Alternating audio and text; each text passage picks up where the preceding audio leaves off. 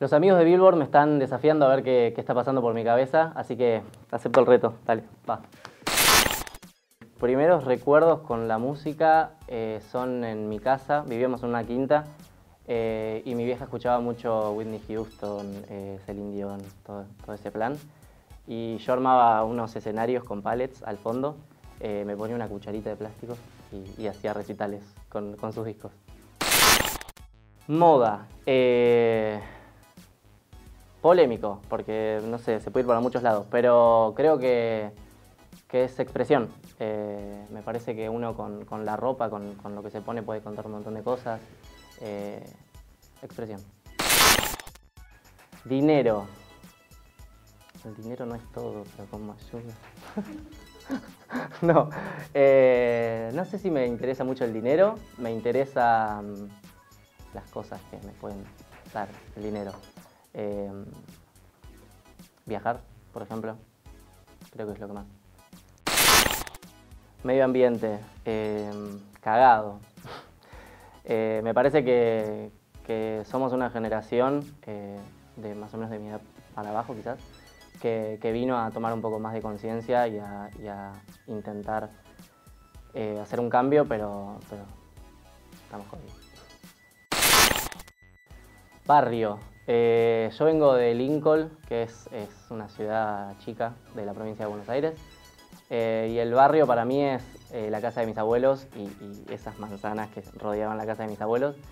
Que al ser una ciudad chica teníamos mucha libertad y, y para mí significaba como agarrar la bici, ir a buscar a mis amiguitos del barrio, ir a una plaza que estaba ahí, jugar, hasta que mi abuela salía, nos pegaba el grito que estaba la merienda, volver a merendar, volver a salir, hasta que ya iban a buscar para, para bañarnos y dormir. Manjar. Esto se está cambiando bastante porque estoy dejando la carne, estoy intentando dejar la carne. em, así que como que van cambiando los sabores. Pero mm, me gusta mucho la comida, mucho la comida. Em, diría que soy más de lo salado. eh, empanadas, empanadas, me gustan mucho las empanadas. Creo un, un algo superior a nosotros, eh, pero creo y confío mucho, mucho en, la energía de la gente, en la energía que se genera en el, en el, el contacto con, con los demás. eh, me parece que ahí está como la fuerza más grosa, eh, la energía que emanamos, que, que nos llega del otro. eh. Futuro, ansiedad. Creo que van ahí, como de la mano.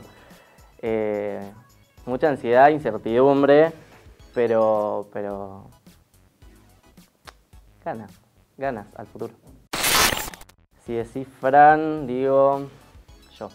Eh, un nombre que no me gustó en toda mi vida, hasta que tomé conciencia de que mi abuelo se llamaba igual, no sé por qué me di cuenta de grande, porque le decíamos Paco a mi abuelo, eh, y no sabía que se llamaba Francisco.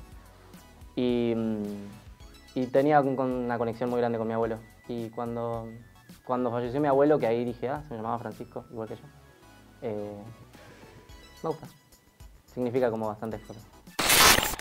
A ver, describirme. Em, creo que hay como dos facetas muy distintas. Eh, prim- primero hay dos facetas mías en la vida cotidiana y en como en Fran artista. Es como que siento que, que soy un poco dos personas distintas. Eh, en mi vida cotidiana me cuesta mucho más como expresarme o, o- no sé, de repente nunca llego con mis amigos y les muestro algo que hice en el estudio. Me da mucha vergüenza, mucha vergüenza.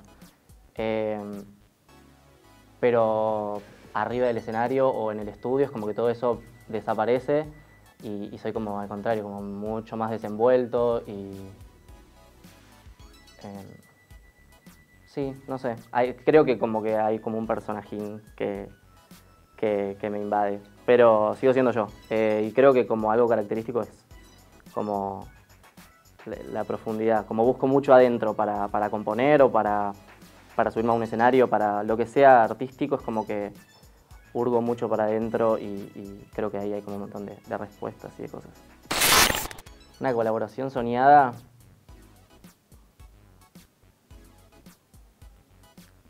Muchas, muchísimas, pero si tengo que elegir una, eh, Lady.